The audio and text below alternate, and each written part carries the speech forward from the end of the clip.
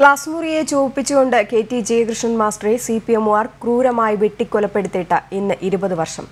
ആയിരത്തി തൊള്ളായിരത്തി തൊണ്ണൂറ്റി ഒൻപത് ഡിസംബർ ഒന്നിന് Panoor east Mookkeri U P സ്കൂളിൽ ക്ലാസ് എടുക്കുന്നതിനിടെയാണ് കെ ടി ജയകൃഷ്ണൻ മാസ്റ്ററെ സി പി എമ്മുകാർ വെട്ടിക്കൊലപ്പെടുത്തിയത്.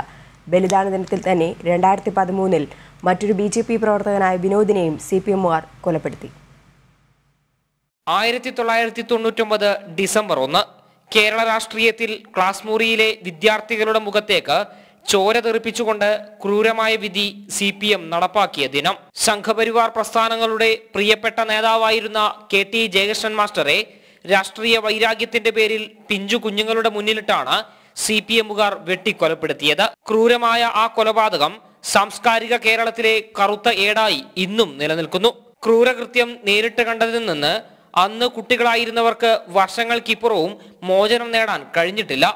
ജയകൃഷ്ണൻ മാസ്റ്ററുടെ കൊലപാതകത്തെ അപൂർവങ്ങളിൽ അപൂർവമെന്നാണ് കോടതി പോലും വിശേഷിപ്പിച്ചത്.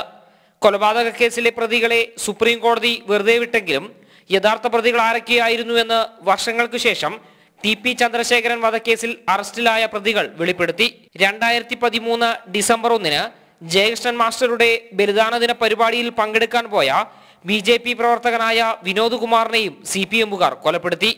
ജനം കണ്ണൂർ